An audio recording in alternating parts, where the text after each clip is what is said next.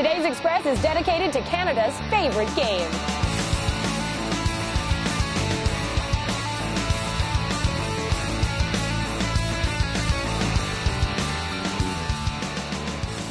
On today's show, What is your shoe size? 15. Roberto Luongo, Trevor Linden, and one, or is that two, of their biggest fans. You have to root for the Canucks unquestionably.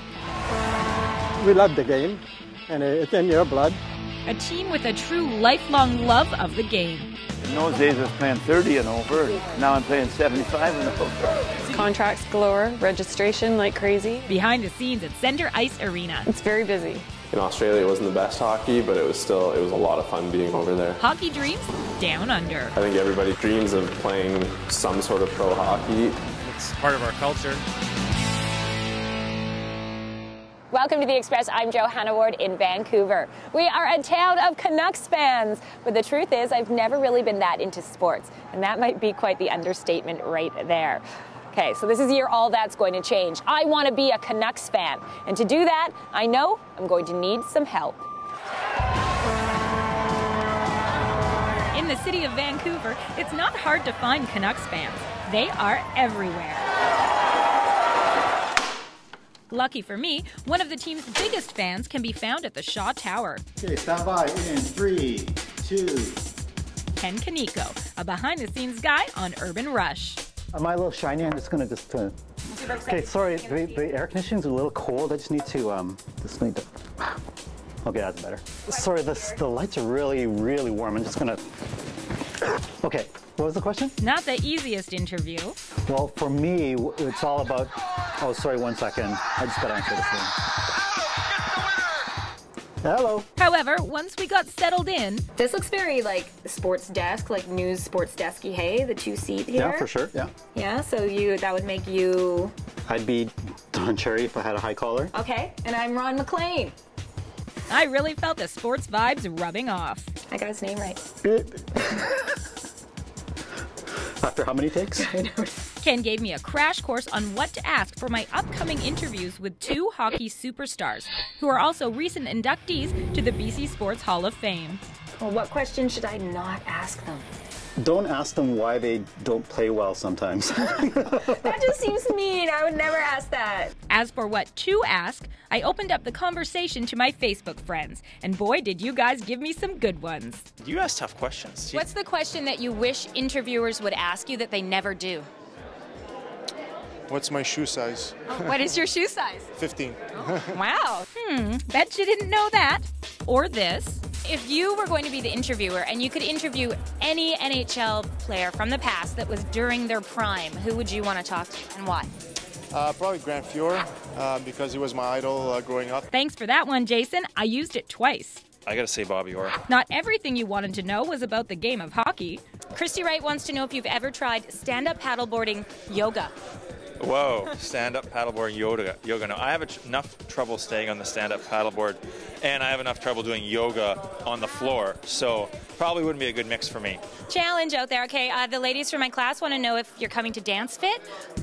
Oh yeah, dance fit. I like dance fit. Yeah. A question universal to sports fans and fans of the game of life. Advice from the Hall of Famers. Just don't listen to what anybody says. If that's your dream, just work every day that you can, as hard as you can, and uh, to achieve that goal. I think I've realized more since I've retired when I've seen people who are successful in various fields that um, you know it's all about hard work, right? It's all about determination, hard work, and uh, Going the extra mile, going the extra mile. like I'm doing right now. Can we show this? Can you just give us a little pan down? Yes. This is impressive stuff right here. You must have trained hard for this. Yeah. We have this exact uh, exercise in our club. Yeah. It's going to be the new workout. The question we didn't ask, but one that's on everyone's mind, is this the year for the Cup? Our annual uh, uh, chant every summer is wait till next year. So Okay, this is the year, you guys. yeah. Um, and I'm with you. This is the year. I'm with you. Okay. I feel like we should high five or something. 'cause we're sporty.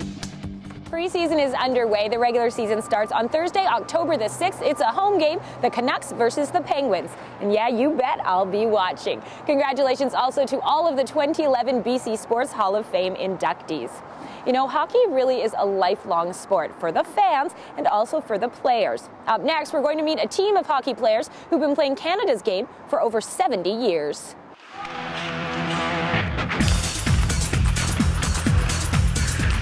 This is old timers hockey at its best.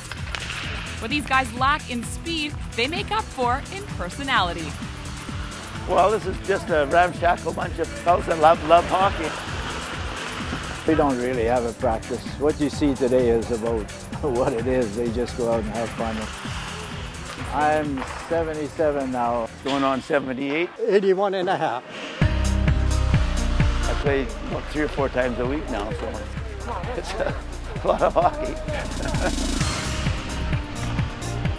it feels great. This is, this is what it's all about. Hockey is a way of life for these guys, but they admit they didn't think they'd be playing it well into their 70s. Never. Never. Not in my life. Well, I organized this back in 1956. We started playing hockey at the Burnaby Winter Club. In those days, I was playing 30 and over, and now I'm playing 75 and over. Did you think in 56 that you'd still be playing? I didn't think I'd be alive. You don't have to be done, I don't think, at any age. The oldest guy is probably 88, and some of the older boys are still pretty good. The team is always looking for more players of a certain age. We have another group that's 50 and over. We don't really want anything younger than that.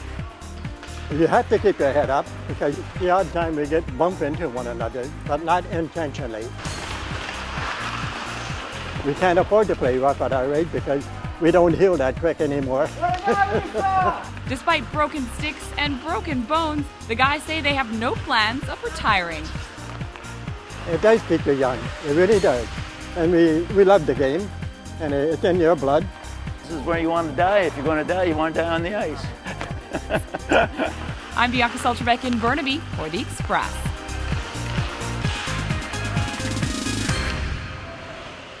The guys on the team recently hosted the third annual 75 plus and 80 plus hockey tournament at the Burnaby Winter Club. And you know what? There are tournaments like that all over North America that attract players well into their 90s. You're watching The Express, and we're going behind the scenes with the game of hockey up next.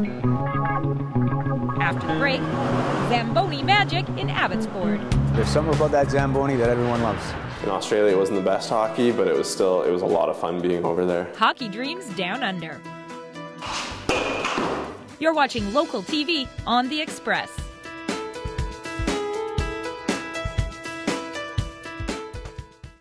Community programming on Shaw has been generously sponsored in part by. The Express is brought to you in part by Plum, fashion supplier to host Johanna Ward.